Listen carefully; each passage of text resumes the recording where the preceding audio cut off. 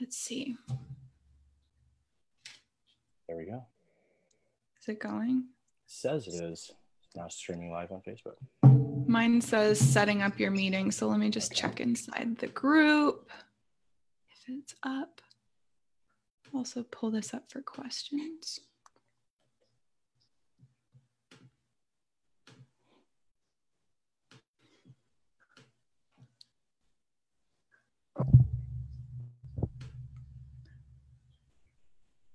Okay, we are live. Yay. It's always like such a lag there. But hi, everyone. Thank you so much for being here for this episode of the Elevate Your Life and Business Expert live stream series. I'm super excited because today I have Lance on, who is a life and fitness coach for high achieving entrepreneurs. We're going to be talking all about elevating your success habits and so much more today. So, thank you, Lance, so much for being here today. I'm really happy to have you. Yeah, thanks for having me. It's been exciting, and uh, I've been like really looking forward to this for several weeks. Oh, yay. Yeah. So, you guys, we're going to give so much value today and really um, take note of the things that hit home for you because if you implement this, it can be huge in your life and it can be huge in your business. But I would love to just start out, Lance, by you sharing a little bit about you and you know your journey and also exactly what you do with people. Yeah, so um, so I've been in the fitness industry for going on 15 years this year. And it all started with me, um, you know, whenever I was in middle school, I just severely struggled with uh, self confidence, self esteem. I was an academic, um, an artist, musician, and uh, I just, I had more of now what I know um, to be as more of a feminine energy. And it just, that was not something that I was comfortable with, you know, growing up. And so, you know, I'm seeing, you know, all of the other, you know, the boys, you know, playing sports and doing all of these things that are so much more kinesthetic and it just wasn't my cup of tea. And uh, finally, I hit a point in which case I just felt like my rock bottom. In which case, I just was so tired of feeling like I just wasn't myself, um, that I didn't have the confidence that I felt like I deserved. And then, you know, after you know seeing my dad, you know, being into lifting and being in shape and so on and so forth, I finally reached out to him and was like, okay, I don't know what this looks like, but you got to help me. And so he helped me and he did it in such a way that he helped me because he knew that I was so not into fitness. I was so not into this sort of like um, even approach to getting more confidence because it just wasn't my way. And so he broke things down in such a way for me that made it so simplistic. He didn't allow me to just go, you know, just balls to the wall that I was trying to just because I was so desperate to get in better shape. And he actually kept me towards like, nope, you're just going to focus on very short workouts. This this is what we're doing. We're going to do this just two to three times a week. Let's just build a habit. Let's see what we can do. Let's see if you can enjoy it. Let's focus on some things. And his approach within i had no idea that you know i started enjoying it. And uh, within about five or six months um, you know a family member ended up showing me a picture of me out in the pool and was like wow look at this. Look at what you've done. Have you stopped and noticed? And i saw the picture and i couldn't i, it, I barely recognized it. And i didn't realize over the course of that five or six months not only had my physique changed so much my confidence had grown so immensely that you know i spoke with people and was looking them in the eye again and you know i felt like people started noticing like the positive features about me and i i was less nervous about them noticing things that i was self-conscious about. And uh, for me that was like that set a stage for me. And so through high school i started studying and trying to understand a little bit more about exercise physiology and all this stuff and i was so focused on the external and it was amazing. I started working with people. I became a personal trainer shortly after high school and i was obsessed with learning everything you know from kinesiology and biomechanics and nutrition and all of this stuff. And what i learned over you know fast forward a couple years i had helped so many different people but i didn't feel fulfilled number one. And number two is i noticed that a lot of my clients had reached these really really great um, makeovers that I call. I call them a makeover. Before I called them a transformation. And upon like really digging deep, these were not transformations. These were temporary makeovers and not permanent transformations. And what I realized was that I had stuck with this. I had done really well. But one of my biggest issues is that I felt like finally, after looking in, I still felt dissatisfied. I still battled body dysmorphia and I changed my physique. And yet I still battled some of these areas of anxiety and overwhelm and just feeling like, why do I still battle some of this self confidence stuff whenever I've gotten myself in such great shape? And now I want more. And I be, just started battling so much of the mindset. And so, um, you know, there was a brief point um, right after high school that I had looked into becoming a counseling psychologist. And it was kind of between personal training and that. And uh, so I started picking up my old love for the psychology, looking into neuroscience and understanding like what, why in the world are some of my clients not getting the results that last or they're not feeling fulfilled even though they've gotten this transformation? And why have i done this? What's happening? And upon deeper research lots and lots of research and studying and learning i started realizing that unfortunately the fitness industry and myself we were helping people to undo or to fix external problems. And these were just symptoms. These external problems were things that we noticed, but these were real things were actually internal problems, and we were only creating external solutions for internal problems. And so I had done well by changing some of the external symptoms. I had not done anything for my internal. And so once I started deep diving and understanding how do I change a habit? How do I find fulfillment versus just achievement? Why are people achieving great things and not feeling fulfilled? And that's what turned into where I started adapting and creating this process in which case is a hybrid of life coaching and fitness coaching. So that's in a nutshell kind of where my story and my path led to.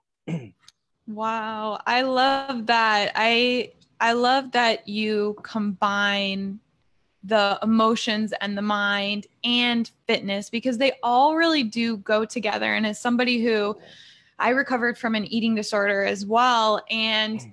I I never realized that before you know when i was so focused on food and focused right. on body i was like you know not even realizing that i wasn't fulfilled not because of my body but because of other things so i love that you do that and i'm sure your dad is super proud to see you like following in his footsteps that's so cool that he yeah, like trained you and helped you in yeah. the beginning and that's mm-hmm. amazing so you help um high achieving entrepreneurs is that mm-hmm. who you help yeah, so high achieving entrepreneurs and specialists. So there's, I will, you know, a lot of people I work with are, you know, RNs or doctors and uh, attorneys and things, and singers, and a lot of people that are, you know, that are specialists in their field, um, real estate agents, different things like that. But these are people that um, they don't just want good enough.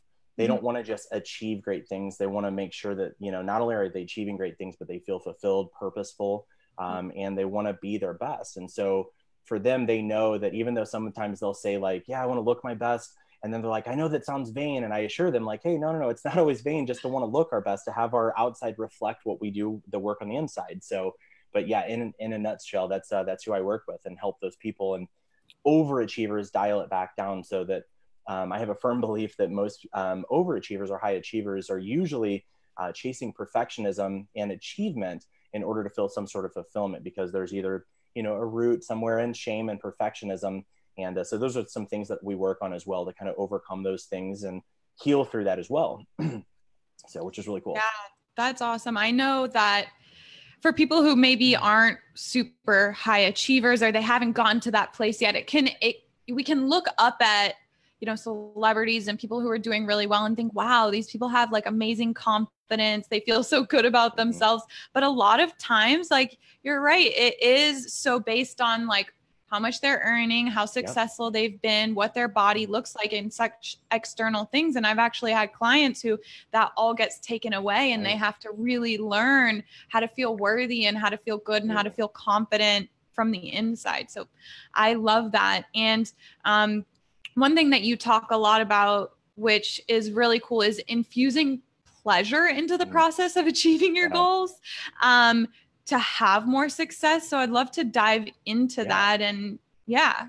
Yeah, so uh, it was uh, probably about 12 or 13 years ago whenever I first started really diving into like, you know, becoming a life coach and understanding like how, what motivates people.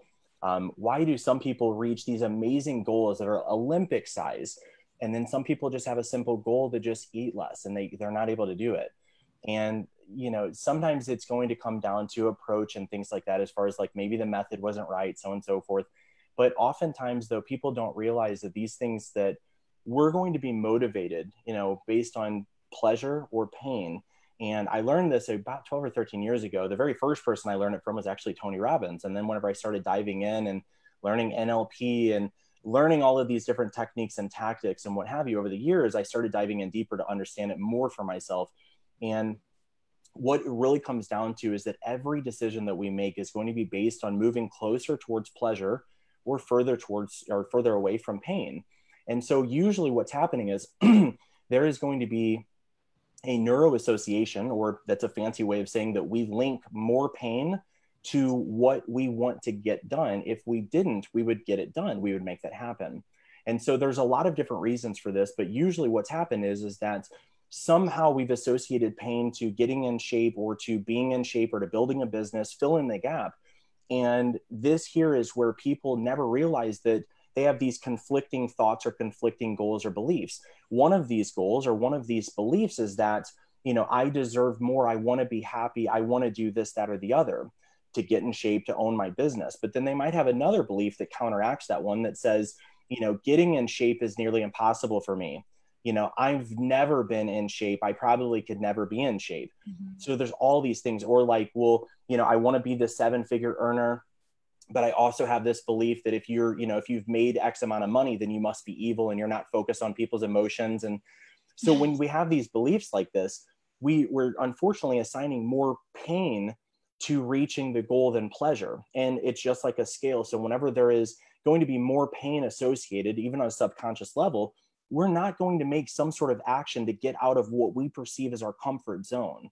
So we mm-hmm. have to be motivated enough, whether by to move, you know, closer towards pleasure or out of that pain. So what I begin to do is to teach people to understand first is identify what areas are you associating more pain to things that you want. So if somebody is wanting to lose and they've got 80 pounds to lose, the very first thing that I want them to do is to come up with everything negative that they can come up with about getting in shape you know well i have to work out hours on end i have to this that and the and these are all perceived values you know perceived beliefs. But they'll write all of these things down and then what we do is we go through and we begin to dispel those number one so we can kind of eliminate some based on logic.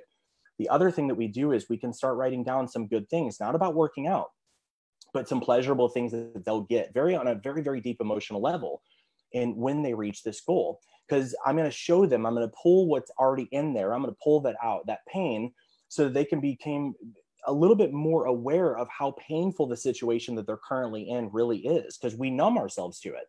Mm-hmm. So once we reveal the painful situation for what it is, that, hey, this isn't just a minor situation that I'm carrying, like, you know, I don't want to be in the occasional photo. This is, I'm in no family photos with my family because I'm so ashamed of how I look. Or this is, I feel like I've worried that I've lost sales because I feel like the person on the other side of the table is judging me for my weight or how I look these are things that are happening and people numb themselves to it by eating more drinking doing some sort of vice that helps them to numb or escape and that prevents them from seeing what their current lifestyle which they perceive or deem as comfortable is. So by showing that more of a mirror and then showing them on top of that helping them to determine the pleasurable things that they're going to get out things that are fulfilling. You know my spouse is going to look at me better. You know some of these things are perceived but it's just whatever we can draw that emotion up with you know, that it's like, oh, I finally have the confidence to ask for a raise.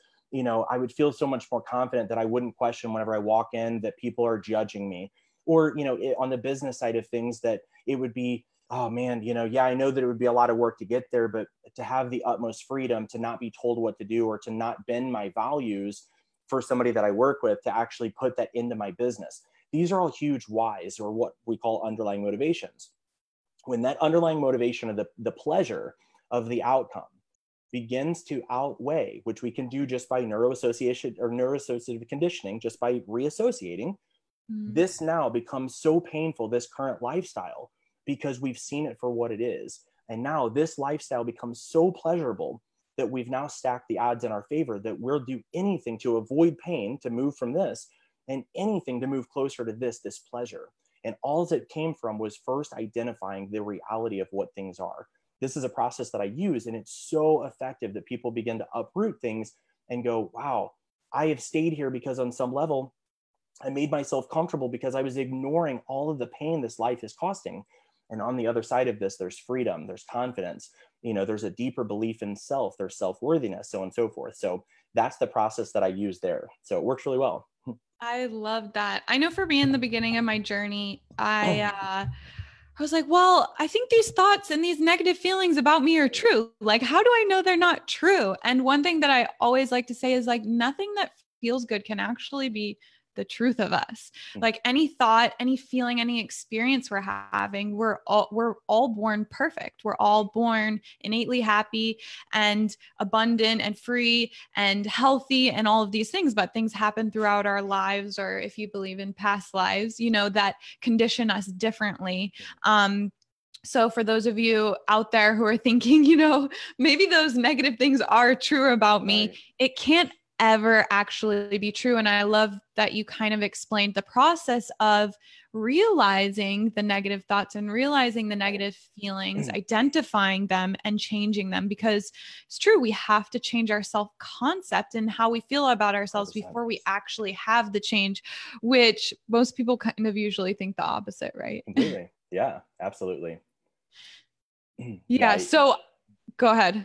I um I always you know let people know that because people usually go well all these fitness coaches are talking about mindset but what does that really mean is it just like focusing on this that or the other and my question usually is is you know whenever we're talking about things is if you have a belief you know this is where I usually teach on thermostat and things like that but if you have a belief about yourself that you're a C student and I mm-hmm. help you to get A's, which is just again using this metaphor. This is the same thing that most fitness coaches or business coaches would do they hire me as a tutor i help them they're a c student i get them to an a. If we didn't do anything internal if i didn't do anything to help them internally to see that they're not a c student if they believe they're a c student that a to them is because of me or that a is because of it's a fluke because they identify as a c student. So unfortunately what most of the time happens is people identify as a quote c student or a bad business owner or an overweight person or whatever it is. And unfortunately somebody helps them to get out of that position externally and then they sink right back to it because they never truly got out of the belief that they deserved or that they were not who they believed they were before. And unfortunately whatever you believe to be true about who you are or what you are your actions will be completely congruent of that until we change both or one of those at least starting from there. So yeah great point for sure.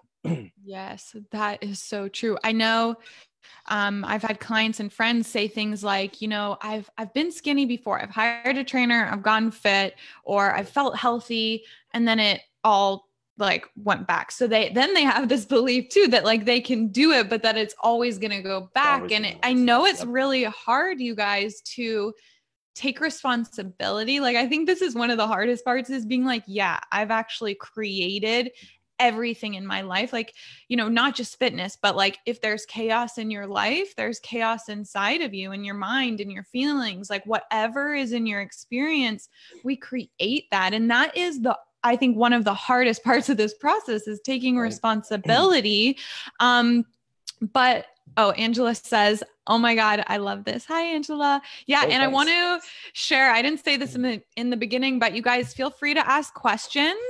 Um, I'm sure Lance will be happy to oh, answer them. But um, engage, share your thoughts, share your feelings, share what's coming up for you. Um, we love engaging with you, and it just Completely. makes the conversation more aligned to what you're looking for and what you want to learn. Yeah. Um, but what would you say to somebody who's like, you know, I it's always a cycle for me. Like I get fat and then I'm skinny and then fat and I'm skinny and I need to like extreme diet in order to get mm. skinny and they extreme diet and then they like yo-yo back. Right. Yeah, so there's a couple different things. Is number one, there's a lot of approaches that people take, and then we create this identity based on the approach. So, unfortunately, what happens now? There's a physiological level here that I certainly believe and I teach on, um, where people actually create what's known as metabolic adaptation. Um, so mm-hmm. people who it's not really difficult for people to diet and get into shape the first time or to diet and get down to weight. So if you ask most people, they don't have a weight loss problem. They have a keeping the weight off problem. And and so these people usually believe that this is what happens. Unfortunately, there is a very, very, very unethical path that's being taught, in my opinion, because most of these diets are created specifically to make money, create amazing transformation pictures, make more money, sell more and get people just on the cycle that they lose gain lose gain and they never teach people like hey you're actually going to keep on gaining this back over and over because of these things that you're doing with your body. With that being said that there are some ways that whenever people are dieting they're immediately causing metabolic adaptation in which their metabolisms begin to adjust and acclimate. In a nutshell the, the body is perceiving that there is famine or scarcity of food and the body actually begins to um, create these defensive prongs basically to fight off what it perceives as famine. when this happens, unfortunately, um, the metabolism begins to slow down for several different reasons, but it's doing this in order to conserve energy because it, it's a, afraid of starvation. And so, mm-hmm. nevertheless, this is what's happening. But people crash their metabolisms and then they go back to regular calories with the metabolisms that, that's decreased. So they gain fat quicker than what they lost it. Then they go and they diet again and their metabolism stays down and never gets raised back up because they don't know how to do it. Mm-hmm and then they diet again only this time they lose less because there's not enough of what's known as an energy gap between the you know what they consume and what they burn they do this process over and over and eventually what you know where they used to be able to lose you know lose weight at 1700 calories they stop losing at 1500 and then 13 then you, i've worked with people who have literally consumed a thousand calories and couldn't lose a pound because they've damaged their metabolism because they gave it a signal that hey food is sparse go ahead and slow down and conserve energy so that's the physiological side of why that happens. But to go deeper, the main reason that people do this is they create this cycle because a lot of times people will feel just enough pain, um, just enough pain that they take immediate action. They take some sort of action based on just eliminating the pain rather than, you know, like the, the, the, the sting or the pangs of the pain. And they try and eliminate it as quickly as possible and they get very very overzealous in doing this because they'll do anything. Again we do anything to move closer to pleasure or away from pain. Mm-hmm. so in this overzealousness they you know use a fad diet or they go crazy on cardio or working out. They do something so overzealous. Then all of a sudden they get a little bit of results even though they've exhausted themselves. The pain level decreases. So now the very the one thing because they didn't really get in touch with you know reassigning pain and pleasure the one thing that they feel that motivated them, that the sting of the pain has now dissipated because they've got just enough results. Now, this isn't going to be something that's going to stay with them and help them to stay happy um, because they set one goal, and this one goal was to feel better about themselves where they were at, and that's it. And unfortunately, they begin to decrease their effort because again they were overzealous and they were overexhausting themselves mm-hmm. so now that the pain levels decreased the motivation is decreased and now man, you know, I had motivation to push myself like crazy before and overtrain. I don't now. So next thing you know is that again, results begin to decrease, which causes motivation to wane even more. And then they stop. And then they mm-hmm. do this process again because they regain it. They feel the pain again just enough. They take action. They lose the pain. So this is over and over. Mm-hmm. And this mm. is what people do. So if you don't stop and actually determine how dissatisfied you truly are and what you, you know, what this lifestyle looks like for you, and this is where I teach a lot of times the difference between a goal and a goal system. A goal says that I want to, you know, lose 30 pounds. A goal system says I'm going to go ahead and create this cycle, this process in which I work out or I'm active for 30 minutes and I track my food so that not only will I lose 30 pounds, but that I stay in shape, I know how to stay shape and I sustain this forever. And people don't think about that. The other way to say it is somebody who is saving for a vacation, a goal says, I'm going to save $2,000 for this vacation. Whereas a goal system says, I'm going to save $100 a month for the rest of my life so I can not only go on this vacation, but go on vacations every year. That one usually resonates with people a little bit more, but that's what I teach so that people don't go on that pain cycle over and over. Yeah, that's a really good example. So, the would you say that all of this applies to everything? Like you, we were talking about it in terms of hmm. body, right? Correct would you say that the yo-yo type mentality kind of applies to business 100%. as well? A hundred percent. Everything that like I make sure that this is why whenever I'm doing video content, I won't create things that are as specific to diet or to exercise physiology, because mm-hmm. I believe that again, I work with entrepreneurs. I want to help them not only achieve their goals, but to reach fulfillment. And there's such a huge difference between the two. And unfortunately, it's the same concept that people do this as well. That it's like, I hate my job. I want to get out of my job and I'm just going to start my own business. And so it's like, I'm going to start this business and they start this thing and then they lose sight very quickly of what it was that they wanted. And then the business fails or, you know, they go through that process, in which case they didn't really map out things. They just wanted out of the bad situation. So, you know, they create a business that really wasn't based on passion or education and it wasn't really built on what would, you know, bring fulfillment. It was only like, screw this boss and screw this lifestyle and I'm out of this. And so it wasn't really built on like that really tying into the underlying motivation. And so, mm-hmm. yeah, it's the same process. And people wonder why, you know, they can't make it. Well, you didn't really put your heart into it because you didn't allow your heart to get into it. You just wanted the pain gone. And that's the big difference. this is such a good conversation. Awesome. I'm, I'm having so much fun. so Um, this leads really well into the next topic that I wanted to cover, which is why doing more is oh. not always the answer yeah. to better results. I know this applies to fitness, this applies to business. So, what would you say? I know it's like a very broad thing, but like, what do you oh, yeah. want to say on this? yeah. So, so again, I work with usually the uh, the very classic high achiever or overachiever. And unfortunately, most of us, and I include myself in this, I still call myself a recovering perfectionist as well. I'm not recovered, I'm still recovering. Um, unfortunately, a lot of times, you know, whenever people are so overzealous and they're aiming for these, you know, that they're, you know, they think if some is good, more must be better. A lot of this is going to be based on the fact that they feel inadequate. They feel like they're simply not enough. It's a scarcity mindset. It's not based on the achievement in and of itself to get something done or to make the world a better place or to accomplish something. This is the one goal here, the one accomplishment is more entwined in making myself feel whole, complete, or finally less shame. And this is what chase causes people to chase perfectionism. So we can't just work on just like overcoming the habit necessarily without focusing on the why, which is you know going to be rooted in you know again uh, uh, getting rid of this pain that I feel because I don't like this identity, and I feel like if I produce more, if I make more, if I you know get just in the best shape ever then maybe maybe i'll feel complete. Maybe people will compliment or they won't notice this thing that i feel embarrassed or ashamed about. Mm. and so unfortunately that's what happens as people do this and they begin focusing on again if i got some results here and it got me some good feedback more must be better. And unfortunately what ends up happening and i know that you know using just the fitness realm is people oftentimes do this and they burn themselves out so quickly because they were trying to chase record breaking scenarios in business, record breaking scenarios in marketing or in their fitness. And what I see happen is the person who's constantly trying to have, like on a scale of one to 10, they're trying to have nines and tens and 11s on their business day, you know, or their fitness days or whatever it is.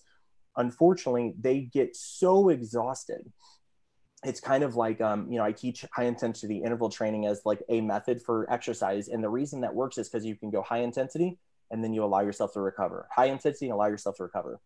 And this method would be so much better because it's balanced if people were to take that approach in life with their business. Okay, I'm going to strategically plan on giving more effort for this week and then I'm going to rest. I'm going to strategically put in more effort for this span and then rest.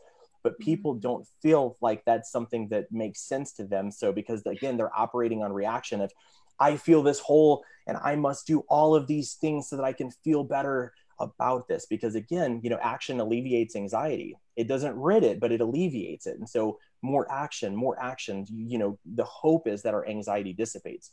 Unfortunately we're breaking ourselves down. So what i see in the fitness industry is that most high achievers come to me and they're like all right lance is teaching to do three to five workouts. His his clients are getting great results. I'm going to do six or seven. And he's teaching me that i can be flexible on this stuff. What if i were more rigid? What if i took this a different approach so people begin to almost modify what i teach. So because it's specifically based on their need huh. to get further. And unfortunately these are the people who usually burn themselves out and crash and burn before they ever even see the results. So that's the big key is like if you want sustainability and i teach three things whenever it comes to and i think this is probably effective even in business but whenever you're setting a plan when you're trying to determine if you can get in shape and stay in shape the number one thing that I tell people is focus on if your plan is adherable. Can you keep good adherence when you're doing your plan? Same thing with your business approach. When you're talking about, I'm going to do this 90 day challenge for my business, and it basically means you get no sleep, no friends, no social life, and you're doing this for 90 days, do you really think that on the other side of this, you're going to be able to maintain that business growth that you've got through those crazy methods? Probably not. You're going to be exhausted and you're going to have some resentment. So, again, by focusing on a more systemized way, can I adhere to this long term? Number two, does it bring results? Is it effective? And then finally, number three, can I sustain those results once I've got them and still maintain my quality of life? If people aren't considering their quality of life and they're only considering getting out of pain, they're going to do some things that basically usually are going to lead to just really fast setbacks. And that's the unfortunate thing that I see so, so often. This is so cool. I love how it all is like interconnected, Interconnect, completely. like the body and work. And what I see a lot in business is people being driven by fear, oh, fear of failure, fear, fear of not making enough money. Um, right. and what I teach a lot is like trusting your intuition. Like if you're not feeling good one day, like take a rest day and like actually in the not doing and I I know this I guess applies to fitness as well like our bodies can heal. We can up level. We actually grow on a cellular level when we are resting. So we actually are doing and I believe and what I've seen is we actually move faster when we Completely. take time to rest and recharge. We're more effective mm. when we trust the intuitive guidance and the more aligned guidance is you're talking about. We have better results because we're doing the things that are actually more impactful mm-hmm. instead of doing a million things and hoping that one of them like works out or does something. Right. That's it. And Jim Rohn had a book that he talked about like how like there are seasons in life and this can be every and again this is why i teach so much on like these concepts because i want to teach on things that are universal that can be extrapolated to any area of life because when we get these things right in one area and we see that they're effective and we extrapolate those and put those into our relationship that we start operating in a way that we believe that we are you know how we intend to be rather than how we perceive ourselves we begin acting that way mm-hmm. and unfortunately people miss the mark and realize that again there are seasons for a reason now obviously you know we live in florida so the seasons are a little bit different down here but yeah. uh, you know the, the reality is is that um, you know there are seasons for a purpose and the thing of it is our bodies are designed uh, life is designed to be in an interval strategy you know meaning that there's high effort low effort rest you know, and then exhaustive states at times based on what we need. And again, unfortunately, whenever people think, if you were to stop and think about seasons the way that is, there's a time to sow, you know, there's a time to cultivate the garden, there's a time to reap, there's a time for harvest, you know, all this different stuff. People are constantly trying to like sow and harvest at the same time over and over nonstop and then they wonder like why you know like hey you're you're abusing your land you know metaphorically speaking it's the same thing with your body and it's like people you know trying to work out constantly trying to exhaust themselves in those ways um, there's one more thing that i teach on um, with stress and i teach like again the right amount of stress on your hands will callus up and prevent you from getting blisters. Too much stress and you blister and you will never callus and you won't be able to work at all. Same thing a little bit of sun exposure you get tan. You know sun is still a stressor. When you get too much sun you blister you burn. This is the same thing with working out. You work out you grow that you get fit you work out excessively based on scarcity, fear, you know, lack, etc., you actually go into a catabolic state, you break down muscle, you get sick, your immune system weakens. Our bodies are designed to be an interval status on everything that we do. So again, it ebbs and flows. You rest, you work, you rest, you work. And that is what gets so much better results. And uh, the high achievers that I've worked with that see that they have that balance. And it's so cool. They're like, man, it's so cool that I work out so much less. I'm, I work less I focus on my family more and I'm I'm leaner, I make more, I feel better. All these things are happening. Yeah, because your life is in balance. That's the beauty. yes, balance is so important. I love those metaphors that you shared. I was cracking up about the land one. That was really yeah, good. I, yeah, they just pop in my head. So I'm like, yeah, there, there's one. so, um, what would you say to the people who see so say say somebody's going to the gym and they see all these like super ripped women men mm-hmm. and they see them up in the gym twice a day mm-hmm. every day 7 days a week right. like can we mm. expose some stuff about like you know how because i'm sure they're like well these people are doing it and they're really mm-hmm. fit you know like what what's going on there yeah so fortunately i mean that i mean unfortunately unfortunately so fortunately i see less of that unfortunately it still happens um, and I believe that again, there you can have a a good workout and you can have a hard workout. Um, I'm sorry, you can have a uh, a long workout or you can have a hard workout. You can't have both. And mm. the the reality is is that most of those people that you're seeing in that great of shape, they're living life to such an obsession that they're doing this and they're using other substances and they're living life in such a way that is not necessarily repeatable by the average person. Um, and they're doing these things, but what you're seeing is their bodies are recovering in a different way because of other enhancements and so on and so forth, or they're just everything else in their life is falling to pieces, which is usually what I see, unfortunately. Um, I work with a lot of people that I've seen and helping them to recover from some of those obsessive and excessive tendencies. And these people are, are not in shape because of those tactics. They're in shape in spite of them. And the reality is, is that sometimes genetics plays a role, sometimes it's consistency, so on and so forth. And the fact that they're living all of their lives focusing on this obsession and unfortunately they're on the brink it's kind of like a um, you know a really rusty old bridge like yeah it works you can get across it but at any point in time this thing's going to break you know that's the life that they're living And I hate to yeah. say that, but yeah, the reality is that that's what they're they're doing every single day. So these are not people to emulate. They're, these are not people that are you know that are high achievers that are in balance. These are people that unfortunately are obsessively trying to fill a void that's not fillable in this manner externally. So mm-hmm. yeah, so don't don't emulate those. that's mm-hmm. really good insight. Um, this the the next thing that I want to touch on, which I see so so much, and I know when I really was struggling with my eating disorder, I had this a lot. It was like I ate a bar of chocolate last night and now my mind's like, you're going to get fat. You ate chocolate, it has sugar, or like I skip a day at the gym. I'm like, it's all, you know, and I hear this a lot too. It's like, but I ate pizza and I missed two days. So now I'm getting fat. And right. of course, like a lot of the people here know the power of the mind. But what would you say about this? Like, how can we not let bad days affect our progress? Yeah, so a couple different things. This is this is such a, a big topic, um, specifically regarding um, fitness. Since you mentioned that specific yeah. area, the thing that people have to keep in mind is that there are a lot of myths and misnomers, and unfortunately, most of those emotional thoughts, what we call ruminating thoughts, those are going to be popped in based on emotions and, and thoughts of scarcity and fear. There's not going to be any factual or scientific evidence of any of those things. It's going to be an amalgamation of all of these pop culture science references that they've gotten in ads and so on and so forth. So the very first thing is to call those things out, to recognize that those voices are not based on fact, reality. They're not even based on any expert's opinion. Um, these things are based on just an amalgamation of just garbage that's out there. So first thing is address those things and call those things out in your head. These, these thoughts are garbage. Second thing is that I let people know when you are worried about you know what you're consuming and what's bad and what's good i always let people know there's no such thing as a good food versus a bad food. There's foods that are more nutrient dense and foods that are less nutrient dense. Is wine or beer bad for you? Not at all. If you drink it in excess you're going to suffer some symptoms. Is a candy bar or ice cream bad for you because it has sugar? Not at all. Eat it in excess you're going to have some problems. But likewise kale is good for you. Eat that in excess and you're going to have all, all sorts of digestive issues. Anything in excess is going to lead to that yeah. So the first thing is to understand that there's no such thing as bad foods versus good foods. There's moderation, there's you know limitations, there's boundaries. And most of us again, we've it's kind of like that if some is good, more must be better. We think that strictness and rigidness is the way to get the results and we don't let ourselves get breaks. A lot of this is based on shame because we have these shaming scenarios over and over in our head that say, you're going to this way and you know you already don't like yourself now you're going to get fat. What do you think you know our kid oh my god nobody's going to love you and that's where these things come from. So there's a fear associated with this of i don't want to feel this abandonment that i feel that i associate with being overweight or associated with not being wealthy or not being x y and z.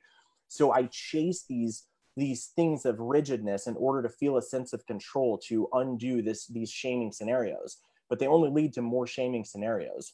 Mm. and so the best thing here is again whenever you've got like you know the voices that are telling you these things is to understand the facts. Number one is like if you don't know what those facts are that you're weren't you know like you're trying to create a doctrine based on like um, these amalgamations of things that don't really make sense and you're using and you're shaming yourself for not following those things. Like who said you can't have a cookie? Who also said that like if you did this that that's bad? First identify where was the source? Like challenge it. Challenge those thoughts because people tell you like don't think that think happy thoughts think good thoughts blah blah blah. Why don't you challenge your thoughts? Yeah. challenge those thoughts that are negative that are telling you that and ask you know what? If that were a criticism from somebody else i would want to know is that accurate? Do i need to give this any validation? Look it up. If you don't know then look at a coach look at a mentor find a book do something and find out if those facts are even worth thinking. But mm-hmm. usually they're not. And this is where a lot of times I will teach the difference of energy balance, which is again consuming the right amount of intake or energy or calories for what your body needs. And most people have no clue, none at all, what their body needs or how many calories they burn. People have just associated negative words with calories. If you were to replace the word calories with energy or fuel, you throughout the day need a certain amount of energy in order to keep the lights on, to be able to exercise, to be able to think creatively, and so on and so forth there's nothing wrong with that. Now, how you fill that energy is up to you. What I teach is again, a certain percentage of protein, fats, and carbs so that we get the right levels of serotonin, so that your muscle heals, and so on and so forth. I also teach an 80 20 rule, which gives flexibility. Mm-hmm. So 80% of the time, you're going to focus on those good, clean, holistic, true foods that are less processed. 20% of the time, give yourself, just like you give yourself a rest, 20% of the time, give yourself a cookie you know this isn't on a weekly basis. This is daily. 20% of your calories can come from those mm-hmm. fun foods. And what this is doing is it's giving you an understanding that there are no bad calories and good calories. There are the right amount of calories for my needs to keep me at my best. And i can have moderation. And when people like me who are excessive go how do i have moderation? Well you set little boundaries little rules. Okay the 80 20 rule. So am i within 20% or 80% like i need to be? Yes no guilt, no shame. I still get to lose body fat and I feel better. Healthy cycle based on facts instead of pop culture references on videos from people trying to sell us things. So, does that make sense? Yeah, that was very good. Um, one thing I want to share is not everything you read is true. and there is so much Very misinformation much so. out there, not just in the life and fitness or health and fitness world, but mm. in the spiritual world and healing world and everywhere. And I really invite you guys to not just read like mindlessly, but to like feel into does the, is this true for me of course like you can look at a research article and see where the sources came from if they're from like a really reputable medical journal or whatever um but there we have to keep in mind that especially around food there is a lot oh, of money under the table that gets paid. You know we hear about this around dairy and stuff like that where there's either fear placed on foods or there's like positivity placed on certain foods. So you got to really be mindful with anything of course like which information is true. And I want to come back to what you said around that process because it's a powerful process of um, for for not just our health but for our business which is like identifying what am i thinking? What am i mm-hmm. feeling? Where did this come from? And mm-hmm. what do i choose to feel and think instead? And this is something that i do throughout every day. If something doesn't feel good i'm not getting the result i'm wanting. I look at what am I thinking? What am I feeling? Where did this come from? Did somebody tell me this? Was it my mom who right. said, like, cookies make you fat? Because my mom had an eating disorder, which I didn't even know as a child. Um, and then choosing what I want instead. And this is where kind of you were talking about like our minds and our, I'm not like a science person, but like our, we start to rewire on a yeah, cellular level. And yeah. we are mm. that powerful, you guys. Yeah, completely. Yeah. And that's the thing is, um, that process is uh, hyperplasticity, and it's it's so cool where we like we rewire the synapses within the brain, and uh, those synapses are kind of like um, almost like um, when you've walked through the grass a bunch on a trail and it begins to erode, those synapses become like that, and so when they're wired together, they stay together. And so when we begin to, um, or I'm sorry, when they wire together, they begin to fire together constantly. So we have a, a trigger because mm-hmm. we've created that path. And now every time that trigger happens, that path automatically fires. So it goes point A to point B. And this is where we, when we begin to challenge thoughts and challenge where they came from and then become intentional. This is again, 45% of our day is unconscious. We're walking through the day automatically, which is where again, like we're basically in a transient state. So when yeah. you're driving and you don't realize how you got there, but you got there, you are in that automatic state. And this is how 45% of our days are. When you've trained yourself to have a habit that it's 5 p.m., you get home, you don't know, you haven't identified if you're hungry, bored, lonely, sad, tired, whatever. All you know is it's 5 p.m. and it's time to grab cookies. So you grab cookies. Now that's not to say the cookies are bad, but if it's a habit and it's not leading to or serving your greater your greater purpose, it is yeah. bad, especially if it's not intentional. When I mm-hmm. grab a cookie now, it's very intentional. I've calculated, okay, I've got this. I know it's this many. Like I, I know that I want it. And I teach people to be intentional. Even again, same thing in your business when you're walking through life and you're just going automatic. These uh, being automatic is great for things like driving and great for things like getting things done and typing and so on and so forth, playing piano. These are all subconscious techniques. But when people are making very key decisions, such as how much food to eat, how, is this excessive alcohol, you know, who to be with, what business to start up, all these different things. When you're doing this automatically or unconsciously, like you're driving, there's no intentionality there whatsoever. And then we're usually so just uh, you know uh, just ridiculously overwhelmed with whatever consequence we got like how did we do this what happened there was no intentionality we didn't give it any thought we allowed it to just be as if we're driving while changing the channel on the on the radio so mm-hmm. so do you teach on like our thoughts and our energy and our feelings create our reality or what do you think mm. about all that yeah so i believe that again basically you know we, we've got a programming essentially and so you know we we have an identity that's built on that so we have like an identity that we believe to be true about ourselves, which causes a thought about ourselves. And that thought is going to lead to um, an overall like global belief. That global belief leads to um, actions. Those actions get results, which either solidify what we believe to be true about ourselves or mm-hmm. we challenge that thought, in which case we can change the action or we can change our beliefs about ourselves. So, yeah, what we believe to be true about ourselves or who we are is going to absolutely affect all of our decisions unless we challenge one or both of those completely. I love how you talk about it on a more like scientific, like factual type basis. Cause I, you know, the way that I explain it is the energy we hold, our feelings that we hold, and the thoughts that we have. Like, yes, who we believe we are is going to have us take the actions, but everything we are inside is reflected outside of us. Um, and so I like to take everything that I see, like, even in my relationship, it's like, okay, like yeah he was the trigger he pissed me off but like what is it showing me inside of yeah. me yeah introspection for sure yeah that's a you know and if you've got a good mindset when you introspect it can be such a great thing where you truly like go in a meditative state that you're trying to be within um, and you're trying to really examine you know how like is this true of me? Is this what i want? Is this did i was i intentional about this? So and so forth that can be great. Unfortunately sometimes people will introspect but they do it with those shaming spirals where it's like they go inside and they start going like you know introspecting of like he said this and he he left me because of x y and z and they go in those things. So be sure when you do that that you're introspecting and you're actually searching and that you're not creating stories.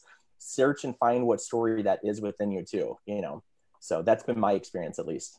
That is a good tip. Yeah you don't want to go in and like ruminate and beat yourself right, up. Right. it's more of like yeah. what inside of me had me feel angry that's identifying where it hmm. came from yes, moving it out so that you yeah. have less anger and then moving forward.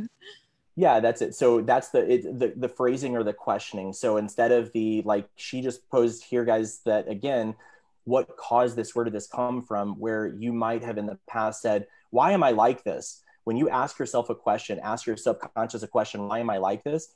It's going to retrieve data based on again the amalgamation of what it's put together based on shaming based on other people's beliefs your perception so don't ask, why am I like this? Ask, what caused this? Or where did this come from? Is this true of what I want? When you ask yourself bad questions or ask, you know, of yourself, your subconscious will automatically retrieve what it deems and it's going to give you a bad answer of like, of course you're like that. You gained 30 pounds in the last year. Who would love you? That's when you ask yourself, why am I like this? Why did he do this? Instead, like she posed, ask yourself, you know why did this happen? What caused this? Did i you know was i in a bad place? Did i make any decisions that i would have made better in mm-hmm. a better you know light or in a better state of mind? And that's a, that's something that you can change and allows you to go forward in a different path next time. Yes i love it. So um what is something that you want to leave people with? Like something maybe actionable steps or just a message that they can go home with um, I think that I would say that one of my biggest keys is like again, challenge your your negative thoughts first and foremost. You know, find out where they're coming from, and then ask yourself how many different things when you're not getting the results that you want in life and fitness and your goals. Ask yourself which areas you're being less intentional than what you would want your kids to be or your employees to be, or so and so forth and see if you can you know I, I, teach this thing on misalignment find out what your actions um, are and see make sure that those actions are in alignment with your goals and your beliefs when you do this this is all an introspective state there's power here because it's going to lead to either a certain level of fulfillment and satisfaction of wow i've done really well or it's going to lead to dissatisfaction dissatisfaction is not a, a bad place I've made some amazing business choices because of dissatisfaction. I've made some awesome transitions because of dissatisfaction. That's where change happens when you truly decide, not when you feel pain and just want to get rid of the pain, but when you determine internally that there is dissatisfaction, that this is out of alignment for what's best for you, mm-hmm. this is powerful. You can make decisions here and you'll do it intentionally. Cool. I love that. Yeah. Angela said, okay, wait. Jamie says, good afternoon. Triggers are my favorite. Mm-hmm. yeah. Triggers are great for bringing yeah. up stuff and growing. And Angela's steps would be great. Cool. So, guys, I want to give you an opportunity to ask Lance any questions um, mm. about this or maybe something that you're specifically curious about. And if not, like if we don't get you while we're still live, then um, I will have Lance share with you That's where you can find him. Um, you can, I'm sure, private message you, but you can share where they can find you and um, get in touch with you to follow you. Yeah, um, completely. So yeah, you guys, and I'm actually too. I'm sending you this right now, um, Maddie. The um, this is a you can share this. I built this um, fat loss assessment. It's a um, it's oh, basically oh, cool. a weight loss quiz to give everybody um, a good concept of where to start. So most people go, Lance, I eat this and I do this. Basically, diagnose me. And I built an entire fat loss assessment basically because most people struggle with these areas and they have no clue whether their mindset is the problem, whether their um, habits, their uh, you know metabolism, et cetera. So I built a quiz that basically is going to outline which of the five components like they might need to focus on more. So I sent you that. So feel free to share that. You guys can get access to it. Um, and then you asked me um, how to find me. Is that what you the last question? Yeah, share with them where they can find you. Yeah. Um, I just post, posted the link, so anybody, if you want that, it's in the comments of the video. Awesome. Yeah. So you guys can find me um, on Instagram um, at lance.caron, C A R O N. Um, you can find me on YouTube. I just am starting to uh, to put out content again, but um, also in my um, my um, nutrition and fitness group called Elevate Your Body Confidence. Um, so those are the three best places to uh, to find stuff. And the reason I mention those places is because that's where I give the most content. Um, I always want people to watch and absorb my content and to kind of go through a little bit of an indoctrination process before even thinking about working with me. So that way, what I don't want somebody to do is to be like, oh, this sounds great. I want to work with them. Watch some stuff, get some free things, try and get some, like, really get some impact. I want to, I deliver so much stuff for people that's free and i've had so many people like get in better shape and actually start making some major changes just from watching videos so absorb my free stuff do some things like that and uh, just see what you guys can learn see what processes begin to change and if you guys have any questions you know uh, comment I, I literally would go through i personally comment on everything i respond to messages and all that stuff i answer questions and i will or i will create content inside of my uh, my group for anybody that has questions too cool yay well okay so guys i posted the fat loss quiz. I posted the Instagram handle and his group. So definitely check those out. He has a lot of valuable information. I was like looking at all of it before our interview. It's really good. And Lance, I want to just thank you again for being here. It was so good. This was really valuable. And um, I'm so glad that everybody got to hear from you. Yeah, thanks so much. It's it's been awesome. I hope I didn't talk too much, but it's been such a, a blast, you know, kind of getting on here and being able to share this and kind of having it like you know, in a good like uh, conversation style. So this is really blast. Yeah, we'll have to have you back. And guys, have a good day. And we'll see you next week. We're going to be here with Matt Cardone. You guys have very similar last names.